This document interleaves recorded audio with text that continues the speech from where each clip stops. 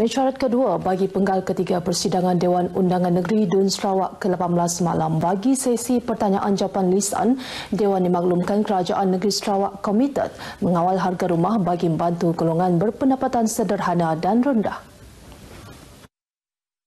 Menteri Muda Perumahan dan Kesihatan Awam Dr. Anwar Rapai berkata pelbagai usaha telah sedang dan akan dilakukan seperti mengadakan kerjasama antara kerajaan persekutuan dan negeri melalui Perbadanan Pembangunan Perumahan bagi menyediakan tapak tanah untuk program perumahan rakyat. Antara projek yang telah dilaksanakan ialah PPR Sungai Raid di Miri melibatkan 505 unit rumah teres setingkat. Dalam pada itu, kerajaan turut mengurangkan kadar bayaran premium tanah daripada 5 RM5,000 kepada RM2,500 untuk membina lot kediaman di bawah skim pembesaran kampung. Beliau berkata demikian bagi menjawab pertanyaan Adun Lambir Arifin Lamat. Sementara itu, Kerajaan Persekutuan diharap dapat mengembalikan semula pelaksanaan projek Taman Perindustrian di Sungai Bidut Sibu. Menteri Muda Pembangunan Perusahaan Kecil dan Sederhana dan Usahawan Datuk Muhammad Narodin Majais berkata ia bagi meneruskan pembangunan industri kecil dan sederhana SME terutama pembinaan kapal. Beliau turut memberitahu bahawa kementeriannya juga sedang menjalankan dua projek yang dibiayai kerajaan negeri iaitu menaik taraf projek rantau panjang fasa 1 dan projek rantau panjang fasa 2. Beliau berkata demikian bagi menjawab pertanyaan daripada Adun Dudong Tiong Tai King.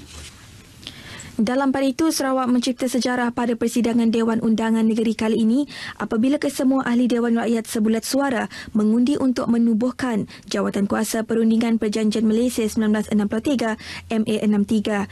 Sebelum itu, Ahli Asajaya Dato' Abdul Karim Rahman Hamzah mengemukakan usul untuk menubuhkan Jawatan Kuasa Perundingan yang terdiri daripada ahli-ahli dari semua parti politik yang mewakili Dewan. Jawatan Kuasa itu akan bertindak sebagai mekanisme untuk memastikan pandangan dan aspirasi aspirasi rakyat Sarawak dimasukkan ke dalam perwakilan yang dikemukakan bagi pihak negeri kepada jawatan kuasa MA63.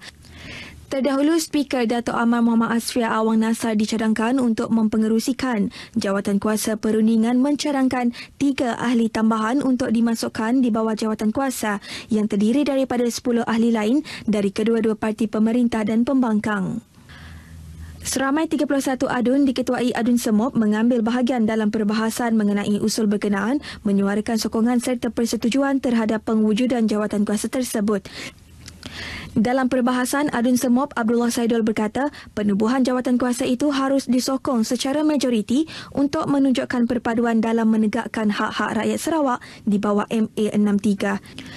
Sementara itu, Adun Samalaju Majang Renggi berkata penubuhan itu dilihat bertepatan dengan kehendak semasa dan membuktikan ketegasan tadbir urus kerajaan negeri.